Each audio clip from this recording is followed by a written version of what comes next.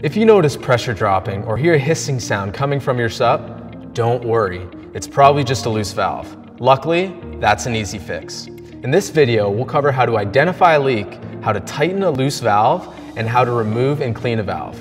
Let's dive in. Over time, the twisting motion when you connect or disconnect the hose to pump up your board can cause the valve to actually loosen. The first sign of a leak is pressure dropping over time. To detect it, listen for a hissing sound.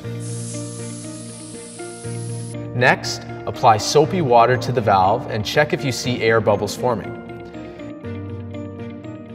If so, use the wrench in your repair kit. Rotate it clockwise to tighten the valve, then check for a leak again. If there's still a leak, you may need to clean the valve. Sand, dirt, and dust can gradually build up and get caught in the threads of the screw.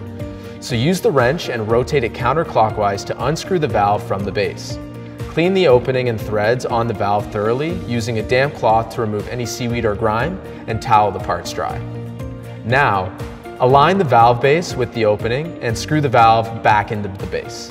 Make sure the drop stitching inside the board and the string that secures the valve cap are clear of the opening as you screw the valve back in. Last, tighten the valve and check one more time with soapy water to make sure the leak has been fully sealed. Now it's time to get back on the water and explore beyond.